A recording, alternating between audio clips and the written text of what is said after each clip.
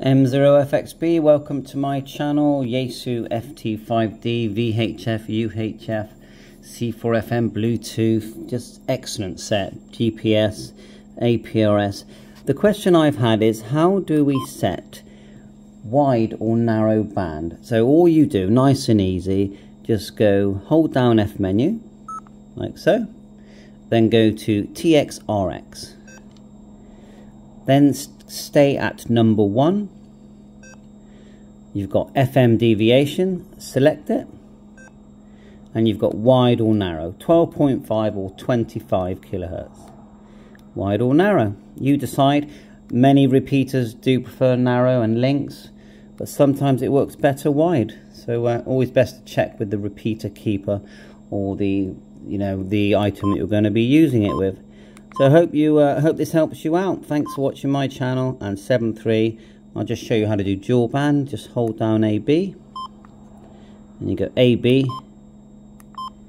And with the imminent arrival of the FTM 500, this device uh, matches it very well.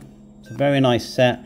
Why get the FT5, not the FT3? Well, the FT3 functionality and design was very nice, but when using C4FM, I personally found it, M0FXB, unaudible on digital C4FM. Unless the station had a very deep voice, then it wasn't too bad. As soon as I got the FT5, all that problem went away. Plus, the speaker is, you know, the speaker is louder, and it's just a better device, same battery.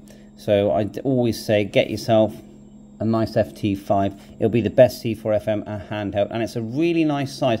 The thing with the FT, no, with the Icom 52, amazing set, too big, in my opinion. Um, this is just a nice size.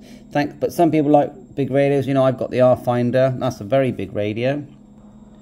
Here, very big radio, but it just sort of works. It's like Android, DMR, VHF, UHF. It's big. I mean, it's not one you'd want to put in your pocket.